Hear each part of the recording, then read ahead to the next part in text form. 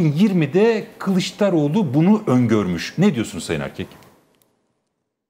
Şimdi öncelikle şunu vurgulamak istiyorum. Gerçekten bugün Türkiye yönetilmiyor, savruluyor. Yani ne dediğini bilmeyen, yönetemeyen, yönetme kabiliyetini kaybetmiş, Türkiye'nin temel sorunlarını çözebilme kabiliyetini kaybetmiş bir iktidarla karşı karşıyayız. Ya Amerika'da hangi önemli ziyaret yani birbirleriyle yaptıkları görüşmeler mi? Dış politikası niçin iflas etti Türkiye'nin? Siz dış politikada bir, bir dış politika nasıl milli olabilir? Siz Dışişleri Bakanlığı'nın yetişmiş önemli tüm diplomatlarını devre dışı bırakırsanız, Türkiye Büyük Millet Meclisi'ni devre dışı bırakırsanız, bırakırsanız, yani meclisi ve Dışişleri Bakanlığı'nı devre dışı bırakırsanız, sarayda paralel oluşturduğunuz ofislerle, ekiplerle bu işi yürütmeye kalkarsanız dış politikanız da iflas eder. Her şeyiniz iflas eder. İşte Cumhurbaşkanlığı hükümet sistemi adı altında kurduğunuz tek adam sistemi de iflas etti. Onun için Türkiye'nin temel sorunları ne bugün? Ekonomi, eğitim, değil mi? Demokrasimiz, toplumsal barışımız, dış politikamız. İşte bu temel sorunları biz nasıl çözeceğimizi Cumhuriyet Halk Partisi olarak da Millet İttifakı olarak da e, paylaşıyoruz. Şimdi bakıyorsunuz Türkiye öyle bir noktada ki işte özellikle belli bölgelerde doğuda, güneydoğuda seçilmiş belediye başkanlarının e, çoğu yok, kayyumlar var. E, niye meclisten seçmiyorsunuz? Diyelim bir belediye başkanı çok önemli bir e, suçla suç işledi veya gerçekten bir terör örgütü, örgütüyle iltisakı var görevden alıyorsunuz. Niye meclisten seçilmiyor? Veya YSK aday yapıyor birini. Bir belediye başkan adayı olabilmeniz için değil mi adli sicil kaydınızın temiz olması lazım. Başkanlığınız Yüksek Seçim Kurulu tarafından aday yapılıyorsunuz. 3 ay sonra 6 ay sonra görevden alınıyorsunuz. Bari yargılayın kesin hüküm kurun da ondan sonra düşürün değil mi? Belki beraat edecek o insanlar. Yani seçmenin iradesini, halkın iradesini yok sayan bir anlayış. E mecliste bütün grubu bulunan siyasi partilerin grup başkan vekilleri birlikte çalışıyor. Adalet ve Kalkınma Partisi'nin grup başkan vekilleri HDP'nin grup başkan vekilleriyle birlikte çalışmıyor mu? HDP milletvekili, meclis başkan vekili nöbetçi olduğu haftalarda meclisi yönetirken AK Parti grubu, MHP grubu onunla birlikte çalışmıyor mu? Yani bu kafa çözebilir mi Türkiye'nin hangi temel sorununu çözebilir? Hangi toplumsal sorununu çözebilir? Ama biz çözeceğiz kimsenin endişesi olmasın. Peki orada e, bir de şöyle bir husus var. Yani şu an bakın bir HDP mi e, meşru muhatap e, İmralı mı, İmralı Kandil e, bu işlerin içerisinde olmalı mı bir ucundan ya da başka bir tarafından bu tartışmanın e, ötesine e, gidememiş e, bir tartışmadan söz ediyoruz nihayetinde ortada. Yani Sayın Karada, Hı. Sayın Karada bakın Buyurun. çözüm sürecini yürütürlerken hep şunu söyledik. Kapalı kapılar ardında hele hele terör örgütleriyle pazarlık yapmayın. Şimdi İmralı'yı muhatap aldılar, Kandil'i muhatap aldılar. Biz toplumsal barışı kalıcı kılmak için tüm terör örgütleriyle artı yeraltı suç örgütleri de örgütleriyle de kararlı bir şekilde mücadeleyi sürdüreceğiz diyoruz. Terörle de hiçbir sonuç elde edemezsiniz. Terörle de hiçbir sorunu çözemezsiniz. Tabii ki milletin seçip gönderdiği temsilciler nasıl meşru olmaz? Milletin seçip gönderdiği temsilciler nasıl meşru olmaz? O zaman meşru zemin nerede? Tabii ki Türkiye Büyük Millet Meclisi. Türkiye'nin bütün sorunları Türkiye Büyük Millet Meclisi'nde tartışılacak. Çünkü Türkiye Büyük Millet Meclisi milli iradenin tecelli ettiği yerdir. Milli irade sarayda tecelli etmiyor. Yüzde yüze yakın milli irade Türkiye Büyük Millet Meclisi'nde tecelli ediyor. Tabii ki meşru zemin orası olacak. Tabii ki sizin muhataplarınız seçilmiş insanlar olacak. Meclisteki gruplar olacak. Hani siyasi partiler demokrasinin vazgeçilmez unsurlarıydı? Öyle yazıyor değil mi anayasamız, şeyimiz? Bakın siz gerçekten gerçekten ciddi anlamda bir suçla terörle iltisaklı biri varsa o kişiyle ilgili zaten yargı gereğini yapar.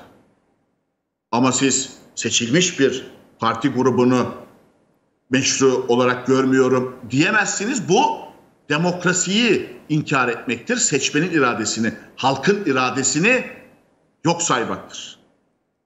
Onun için zaten Türkiye demokrasisini kaybetti. Bugün işte biraz sonra belki konuşacağız. Bugün Türkiye büyük bir demokrasi mücadelesi veriyor. Siz o eski e, bizim anlamda sağ sol ideoloji mücadelesi vermiyor.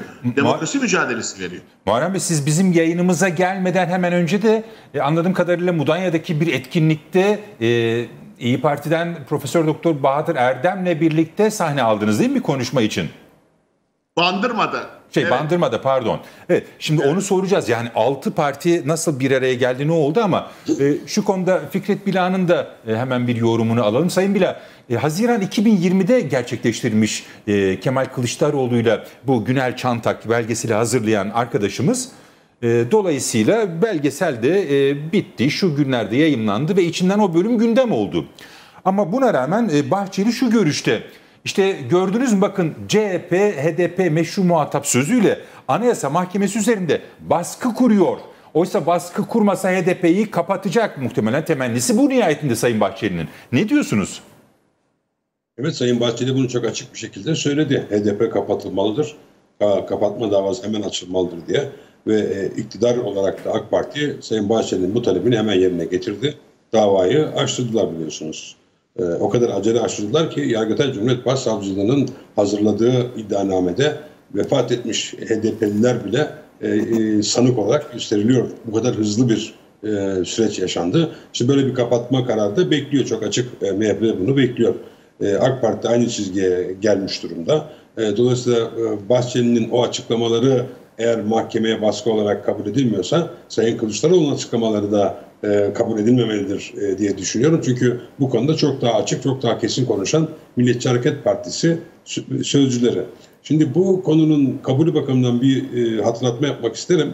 E, şimdi bu sorunun bir sorun olduğu yani Kürt sorununun mevcut olduğunu e, ilk kez e, 1991 yılının sonunda e, gazetecilerle birlikte Diyarbakır'a bölgeye ziyarette bulunan e, ve e, Cumhurbaşkanlığına yeni e, Başbakanlığa yeni gelmiş olan Süleyman Demirel söylemiştir. O zamana kadar bu sorun telaffuz edilmemiştir. O gezide e, rahmetli Demirel kendisini takip eden gazetecileri gece yarısı odasına davet etti. Biz de gittik ve orada ilk kez dedi ki Kürt realitesini kabul ediyoruz böyle bir sorunumuz vardır diye ifade etti. Ve Sayın Demirel'in bu e, çıkışıyla birlikte biz gazetelerin manşetlerini değiştirdik ve o günden sonra bu sorun ifade edilmeye başlandı. E, bir anlamda o ifadeyi daha sonraki görüşmelerimizde Sayın Demirel şöyle izah etti bana hep verdiği bir söyleşide. Dedi ki benim o sözüm bir, sadece benim söylediğim bir söz değildir. Bu, bu dedi Milli Güvenlik Kurulu kararının bir yansımasıdır. Anlıyoruz ki Milli Güvenlik Kurulu zemininde bu konu tartışılmış ve böyle bu realitenin kabul edilmesi gerektiğini Sayın Başbakan'ın ağzından kamuoyuna duyurulması e, ifade edilmiş. Daha sonraki süreçlerde e, sizlerin de bildiği gibi bütün e, siyasi parti liderleri e, bu böyle bir sorunun varlığını kabul etmiş ve çözüm önerileri geliştirmişlerdir. E, MHP hariç. MHP bu konuda e, sevgili Barış'ın dediği gibi tutarlıdır. Başından beri böyle bir sorunu kabul etmemiştir. Özellikle siyasal alanda böyle bir sorun olmadığı tezini savunmuştur. Sadece terör sorunu olarak e, bakmıştır. E, sevgili Gökmen bunları söyleyebiliriz. Peki. E, şimdi tabii ki bu konuyla ilgili başka konuşacaklarımız var. Onu biz bir sonraki dilimde konuşacağız. E, bakın e, Barış Pehlivan'ın bugün Cumhuriyet Gazetesi'nde de yazısı vardı. Öcalan'ın CHP Mesaj. mesajları diye nihayetinde İmralı e, tutanakları 2013-2015 arasında çözüm sürecinde neler yaşandığına dair fazlasıyla ipucu e, barındırıyor. Fazlasıyla ipucu e, barındırıyor ve oradan e, tam da böyle bir tartışmada neler e, çıkarabiliriz onu bir sonraki dilimde e, konuşacağız. Ama e, Muharrem Bey'e en azından şunu sormak isterim. Sayın Erkek, e, birazdan 6 partinin bir araya gelmesi ve CHP'nin seçim hazırlıklarına geçeceğiz ama ondan önce benim son sorum şu olsun size. Bu konuyla ilgili son sorum. E, şimdi HDP cenahından gelen açıklamalar farklı tondaydı. Sezai Temelli'ninki zaten biliyorsunuz en çok gürültü koparan onunkiydi. Ee, yani HDP muhataptır ama e, İmralı e, asıl olarak e, çözümde muhataptır diye. E, şimdi daha sonra Demirtaş'tan açıklama geldi, Mithat Sancar'dan açıklama geldi. E, ama e, orada e, Sezai Temelli kadar e, o sert bir e, tonda eğer bunu sert olarak niteleyecek olursak tonda olmasa da e, ben ikisinin de aslında açıklamasında ya sürecin bir yerinde elbette ki şey olacaktır anlamını çıkarıyorum. E, yani İmralı'da evet devreye girecektir ama tabii ki HDP e, öncelikle e, iradi olarak e, bir aktördür. E, onları nasıl değerlendirdiniz? HDP canından gelen açıklamaları e, bunu da bir yorumlarsanız diğer konuya geçelim. Buyurun efendim. Çok kısa cevap vereceğim. Bakın e, Genel Başkanımız Sayın Kemal Kılıçdaroğlu çözüm sürecinde ne söylüyorsa bugün de aynı şeyi söylüyor. O zaman da gelin mecliste tartışalım, kapalı kapılar ardında tartışmayın, terörü muhatap almayın dedi. Meşru zemin meclistir, milletin huzurunda tartışın dedi. Bugün de aynı şeyi söylüyoruz. Sayın Temelli'nin ben düşüncesine katılmıyorum. Zaten o da benim kişisel görüşümdür dedi. Ee,